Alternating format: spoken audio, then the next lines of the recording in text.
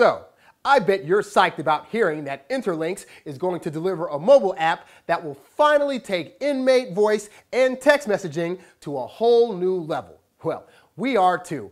Our app will be available not just nationally, but